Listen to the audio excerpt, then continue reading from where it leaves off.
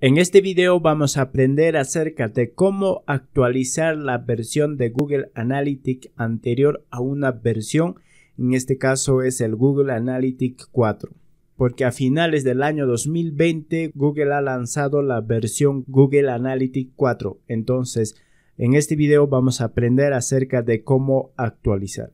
Bueno, en mi caso lo que voy a hacer es lo siguiente, este es el sitio web de oregon.com y lo que voy a hacer es actualizar el Google Analytics. Bueno, voy a ir al escritorio y después voy a venir a la parte inferior. Bueno, aquí hay un plugin porque yo estoy utilizando este plugin. Voy a hacer clic acá donde dice todos los snippets.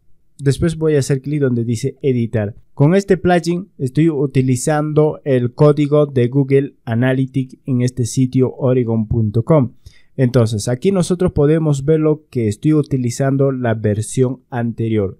Entonces, ahora para poder utilizar la versión nueva, lo que tenemos que hacer es lo siguiente. Primero tenemos que ir a lo que es a la página principal de Google Analytics y aquí pues tengo que venir a donde dice administrar o aquí también tengo un aviso que me dice que descubra las novedades de Google Analytics. Cree una propiedad Google Analytics 4, en este caso la versión nueva. A partir de esta propiedad Universal Analytics, esa es la versión antigua. Entonces me dice acá de que estos datos que tengo de mi sitio web, bueno, no voy a perder porque me dice de que voy a crear otra propiedad a partir de esta propiedad que tengo ahorita. Entonces, para eso lo que vamos a hacer es lo siguiente. Vamos a ir acá donde dice administrar. Luego en la sección de propiedad aquí tenemos una opción que dice asistente de configuración de Google Analytics. Bueno, vamos a hacer clic acá y luego pues me dice de que ahorita estoy utilizando una propiedad de Universal Analytics, la versión antigua. Bueno, para formar parte del futuro de Analytics, porque la versión nueva va a reemplazar a la versión antigua, entonces ya tenemos que estar utilizando desde ahora. Entonces, para poder utilizar, simplemente tenemos que configurar. Bueno, para configurar, vamos a hacer clic acá donde dice empezar. Luego nos sale una pequeña ventana. Aquí nos dice si deseamos migrar algunos eventos o etiquetas personalizados que tenemos eh, en la versión anterior de Google Analytics. En mi caso, pues no lo tengo. Y ah, de hecho aquí no me permite eh, seleccionar esta opción. Ahora, si tú tienes una etiqueta, algo personalizado, entonces esta opción va a estar libre para poder activar. Bueno, ahora si a ti también no te permite activar, entonces no hay ningún problema. Lo que nosotros vamos a hacer ahora es crear una propiedad. Para eso hacemos clic en este botón. Muy bien, aquí me aparece un mensaje correcto. De hecho, pues me dice de que acabamos de crear una propiedad correctamente y aquí también me dice de que ha conectado sus propiedades correctamente. Entonces lo que tenemos que hacer es lo siguiente, simplemente vamos a hacer clic donde dice ver propiedad de Google Analytics 4, es decir, necesitamos el código de seguimiento. Luego nos va a cargar esta página y después aquí tenemos una opción donde dice recogida acá donde dice instalación de la etiqueta, es decir, el ID de seguimiento. Entonces hacemos clic acá. De hecho, nos dice acá de que hasta ahora no hemos recibido ningún dato durante las últimas 48 horas. Esto es lógico porque recién estamos creando una nueva cuenta en esta versión nueva. Muy bien, entonces vamos a hacer clic acá para poder continuar. Luego vamos a cerrar aquí. Bueno, aquí tenemos el ID de medición. Esto es importante porque con este ID nosotros podemos recuperar los datos de nuestro sitio web. Muy bien, entonces en la parte de abajo aquí tenemos donde dice instrucciones de etiquetado. Bueno, en este caso, aquí como yo tengo ya lo que es el código de Google Analytics, lo que vamos a hacer aquí es lo siguiente. Vamos a hacer clic donde dice etiqueta global del sitio web y luego pues aquí nos aparece otra vez el código. Entonces, este código nosotros vamos a copiar. Luego aquí, es decir, en este sitio web, lo que vamos a hacer es lo siguiente, vamos a pegar debajo de este código y te voy a explicarte por qué. Bueno, primero voy a pegar. Bueno, entonces, a ver, voy a venir a la parte inferior, esto voy a agrandar. Bueno, el código anterior está desde aquí hasta arriba.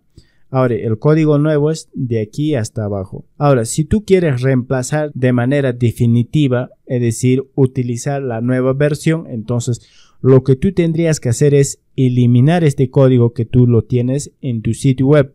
Pero en mi caso no lo voy a eliminar. ¿Por qué? Porque yo quiero utilizar, porque no sé si te has dado cuenta de que si voy a ir a mi cuenta anterior y si hago clic acá donde dice página principal, bueno, yo tengo muchos datos que he recogido de mi sitio web. Por ejemplo, ahorita hay un tráfico en vivo y aparte de eso, pues eh, tengo acá muchos datos. Entonces, esos datos es muy importante para mi proyecto web.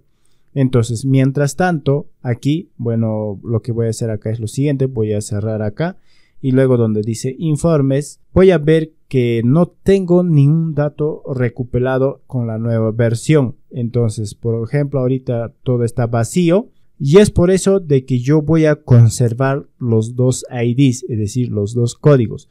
Entonces, mientras tanto, voy a recoger los datos en mi antigua versión y además también voy a empezar a recoger la información de mi sitio web a mi nueva propiedad de Google Analytics. En este caso sería Google Analytics 4. Muy bien, entonces explicando esto, lo que voy a hacer es actualizar, es decir, voy a utilizar los dos propiedades, tanto antiguo y la nueva versión.